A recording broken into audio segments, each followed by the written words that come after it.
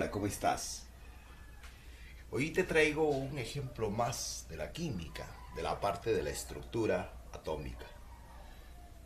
Observa, dice, hallar la carga nuclear absoluta de uno de los tres isótopos de un elemento, para los cuales la suma de sus números másicos es 381 y el promedio de sus respectivos números de neutrones es 77. Vamos primero a ver a qué se le llama isótopos. Vamos a recordar eso.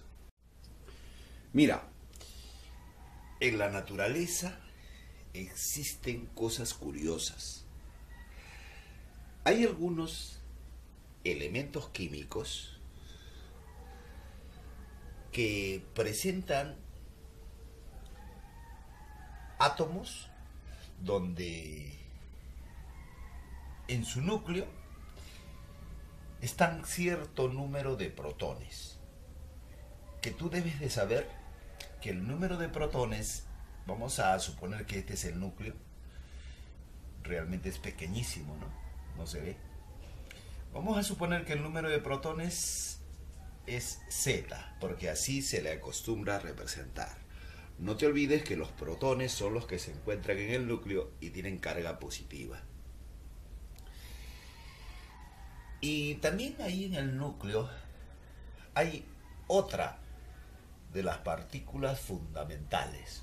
Unos son los protones, otros son los neutrones, que también se encuentran ahí que se le acostumbra representar con la letra N. Ese es el número de neutrones que habría ahí. Y como su nombre lo dice, son neutros, no tienen carga ellos. Entonces, ¿qué pasa? Que otros átomos de ese mismo elemento químico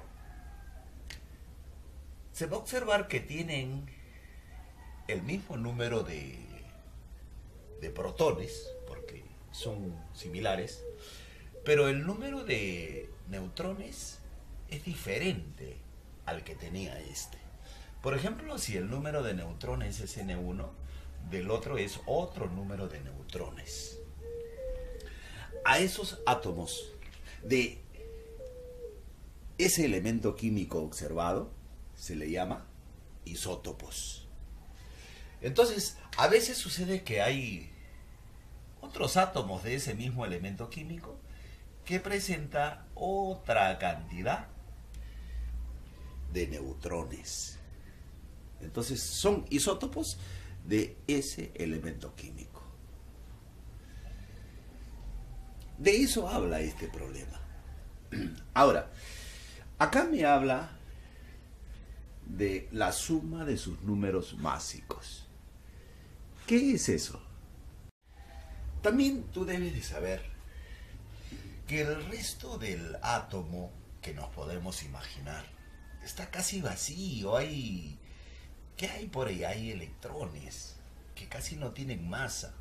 Entonces casi toda la masa del átomo se concentra aquí. Ellos son los que prácticamente reúnen a toda la masa del átomo. Por lo tanto, el número de masa se le llama al número de neutrones que hay en el núcleo más el número de protones. Entonces el número de masa es los neutrones más los protones que se encuentran en el núcleo. Igual aquí, su número de masa es la suma de los neutrones y los protones, igual en el último. Según dato, la suma de esos números másicos, o sea, la suma de esos números de masa, sale 381. Ese es el dato que me da. Esto lo podemos ordenar. Sería 3z más n1 más n2 más n3 y eso da 381. Además, me da un dato sobre el promedio de sus números de neutrones. ¿Alguna vez te han hablado, por ejemplo, del promedio de las edades en el aula? ¿Cómo se calcularía? Se suman las edades de todos los que están ahí y se divide entre la cantidad de personas que hay. Igualito es acá. El promedio del número de, neutrones, de los números de neutrones, sería sumar a los números de neutrones y dividir entre 3, porque son tres cantidades que estoy sumando. Y ese es el promedio del cual me habla y dice que esto es 77. Por lo tanto, este 3 lo voy a pasar acá a la derecha y quedaría así. Vamos a seguir por allá. Ese 3 lo paso acá a la derecha y daría 231. ¿Y eso qué voy a hacer con eso? Tienes que mirar esta ecuación que le he llamado ecuación 1. Quedaría así. 3z más n1 más n2 más n3. Pero esto ya conozco que vale 231. Reemplazo ahí 231. Es igual a 381. Joven, y acá tenemos el valor de z va a salir. Va a quedar así. Y acá tenemos el valor de z. En forma brillante. Nos ha salido que sale 50. ¿Qué quiere decir? Que cualquiera de ellos tiene 50 protones en su núcleo. Ahora, ya sabes que los únicos que tienen carga acá son los protones. Y entonces decimos acá, la carga que tiene uno de ellos es 50 protones. A eso le llaman la carga nuclear. Es la carga que hay en el núcleo. Son los elementos que están cargados en el núcleo. Hay 50 de ellos. Pero cuando me piden la carga nuclear absoluta, hay que hacer algo más. Para eso tú debes saber lo siguiente.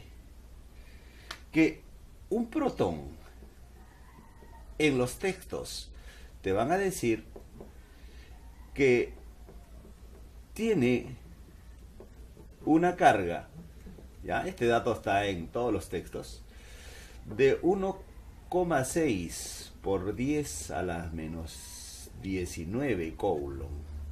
Esa es la carga que tiene un protón nomás. ¿Y si fueran 50 protones? Entonces, en este caso, vamos a contestar a qué le llaman la carga nuclear absoluta. Le llamarían a la carga que tienen los 50 protones. Sería 50 veces 1,6 por 10 a la menos 19. Y eso nos va a dar el siguiente valor. 8 por 10 a la menos 18 coulomb. A eso se refieren cuando piden la carga nuclear absoluta. ¿Cuántos coulomb hay ahí? Entonces tienes que multiplicar por ese valor nada más. Eso es todo. Esta sería la respuesta. Ha sido un placer mostrarte un poquito más sobre la química. Ya te traigo más conocimiento en los siguientes videos. Has aprendido algo, ¿verdad? Seguramente que sí. No te olvides entonces también de apoyarme con una suscripción. Ha sido un placer estar contigo. Me voy. Chao.